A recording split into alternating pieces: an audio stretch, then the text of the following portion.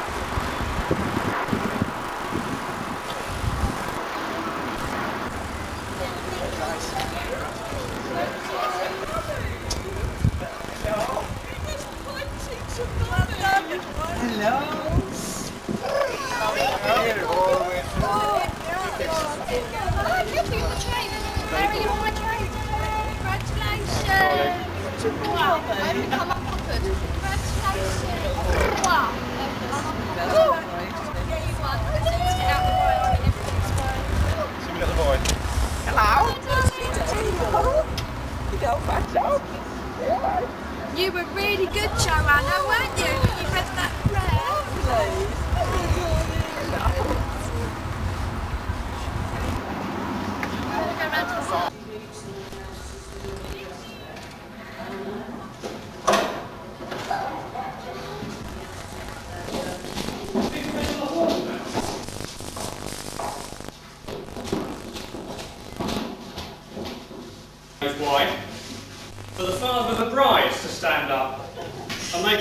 fool of himself through a combination of drink, drugs, and the exaltation of knowing that his daughter is finally out of his hair.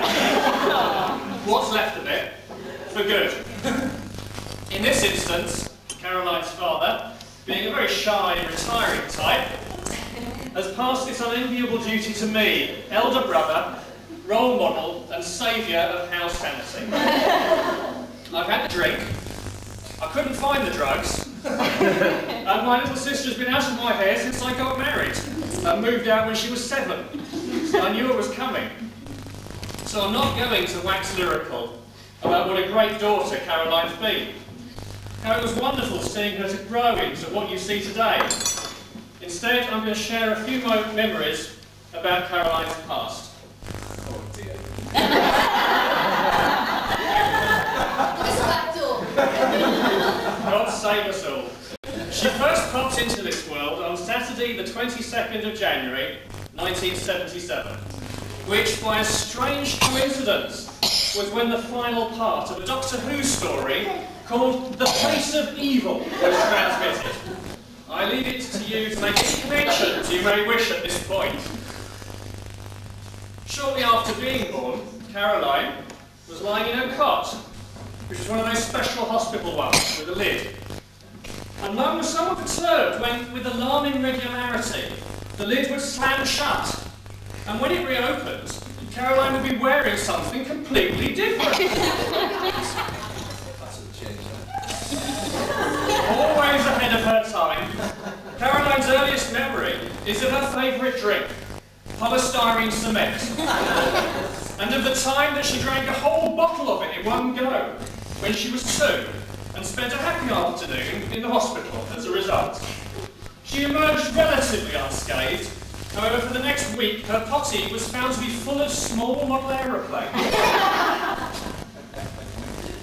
Spelling has always been one of Caroline's strong points. And so she was wholly unprepared when, aged about six, and having great difficulties with her letter, she burst into Mum's bedroom, wherein Mum and Dad were enjoying a lie-in, and asked Dad if he could do a pee in the air. When she realised the full implications of this, Caroline stormed from the room, slammed the door, and reappeared five minutes later wearing a completely different outfit. There's a running theme here. Around when she was four, Caroline decided to take up dancing, and so headed for the bright lights, fame and fortune of Jenny Hunt, before moving to Gina Dyke when she was about six. Her first performance was especially memorable. She appeared on stage in a cute pink leotard and tights, side steps to the centre, and then waited for the music to start. Two steps later, she fled from the stage in tears. The audience sat in stunned silence as the sound of a door slamming somewhere in the backstage echoed around, before Caroline reappeared wearing a yellow t-shirt and tutu to finish the dance. Caroline went on to enjoy several years in stage productions. She was Dorothy in The Wizard of Oz, was in Annie at Wimbledon Theatre, West Side Story, The Boyfriend, and Fiddler on the Roof, leading to her starring as Hope Harcourt in Anything Goes when she was 16.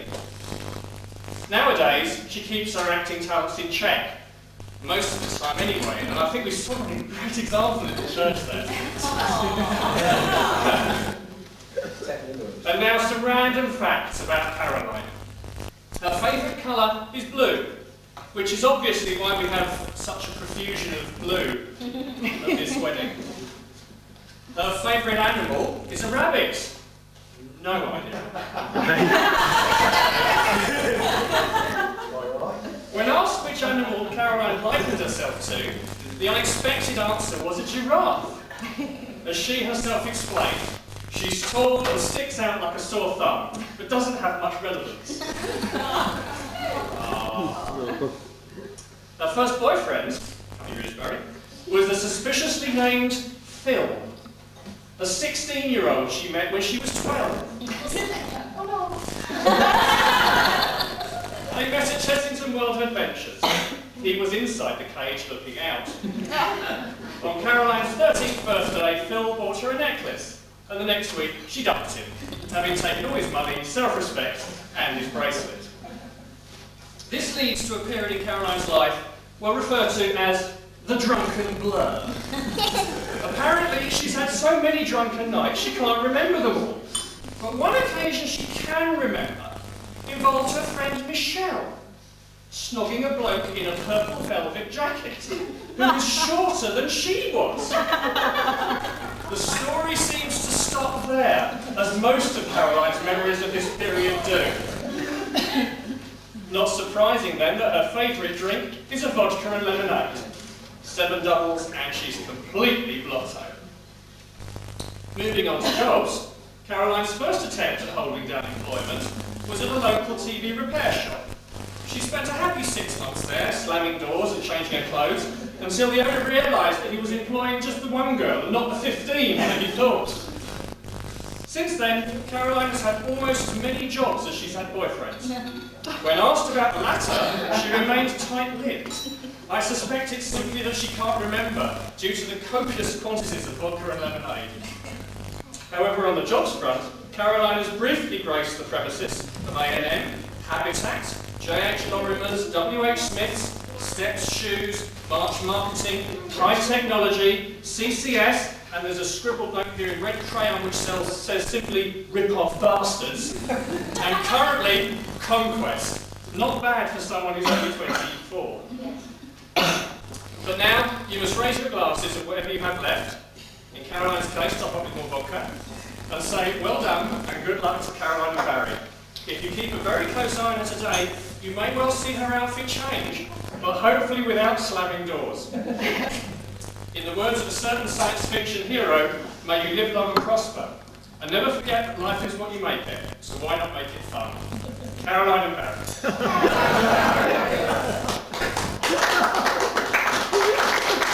My name's Kai, and I'm supposed to be this young gentleman's best man. Um, first of all, thank you for a really good quiz. Excellent. Really, really good. But I would just like to say, on behalf of the bridesmaids, I think we all look absolutely stunning. All three of you.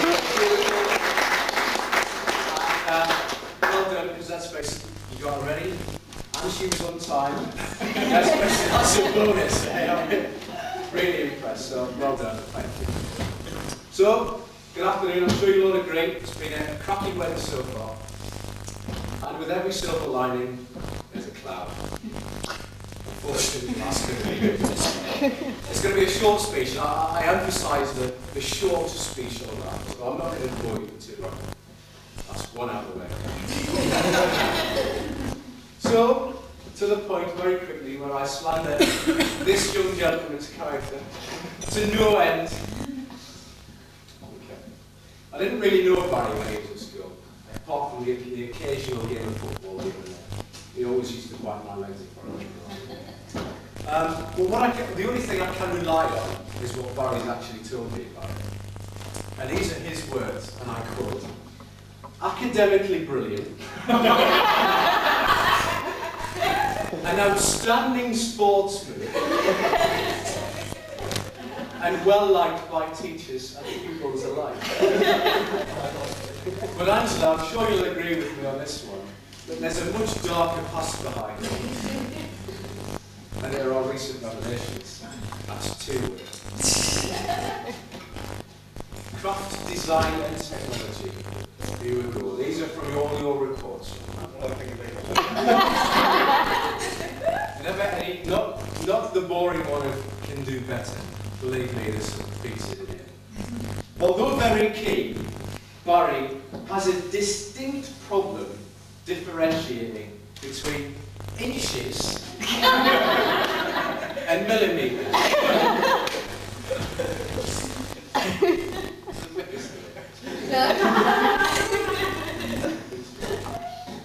Religious education, here we go. Barry's understanding of religion is limited. Um, I know I certainly want to thank a few people, I know Barry does. Um, first of all, I'd like to thank Angela and everyone who's here last night at half past ten, getting this room to look as nice as it does. Um, you've seen it before, it And uh, in, in, in our prime, let me just hasten, in our prime, which after a Friday, which after a Friday night, out with the boys down in the, in the village, after eight or nine beers, we had our best games. Believe me, eight or nine beers, we were superb. But we struck up an absolute, absolutely formidable partnership. What with Hepworth's great determination, passion, and midfield presence, and the Smiths' silky smooth skills, and quality finishing within the box, we were, we were a formidable partnership. Let's face it, Esther Smith. Which box is that then? You my thunder.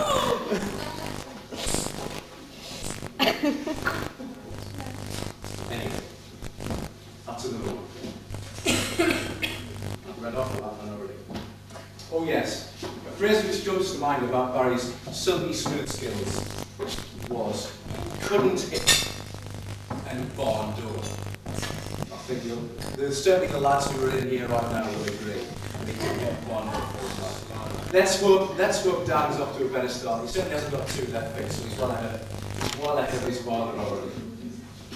Okay. Speaking about football, I had a, um, a telegram come through from a local football team who Barry's been playing for now and again. And it goes like this. Dear Barry and Caroline, congratulations on this special day.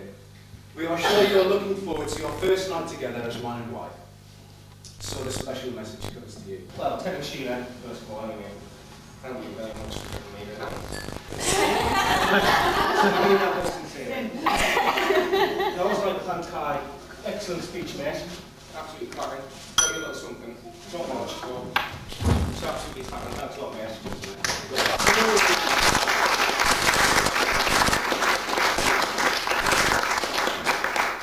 Again, I'd like to thank, um, again, I'd like to thank whoever I, is my mum. Because Yeah. without her, this would have been possible. to make the cake. So I really, really want to thank mum for making this possible.